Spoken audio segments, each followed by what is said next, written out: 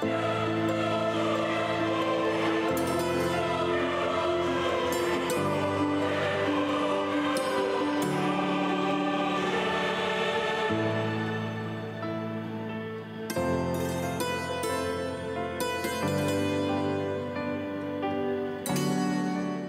चुटकी सिंदूर की कीमत तुम क्या जानो मोक्ष बाबू?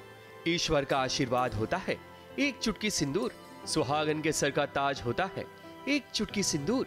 हर औरत का ख्वाब होता है। एक चुटकी सिंदूर।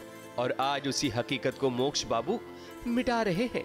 अब वो दिया के साथ अपने रिश्ते को खत्म कर देना चाहते हैं, क्योंकि अब उन्हें निशिगंधा के साथ रहना है। इसलिए तो मोक्ष दिया को छोड़ निशिगंधा के साथ चले जाते हैं।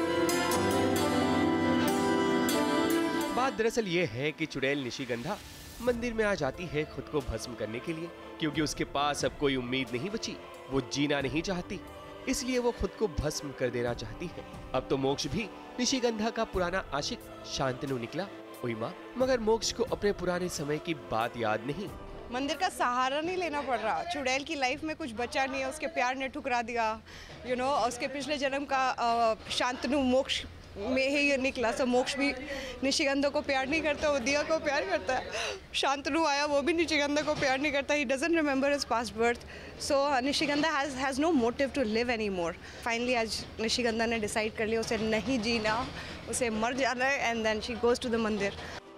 पर कहानी भस्म पर खत्म नहीं होगी, बल्कि हो सकता है कि मोक्ष को अपनी पुरानी कसम याद आ जाए, और निशिगंधा के साथ एक नई प्रेम कहानी शुरू हो।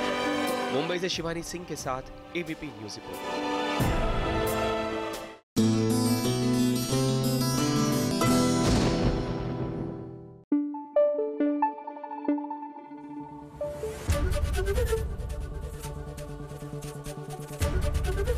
ABP news आपको रखे आगे।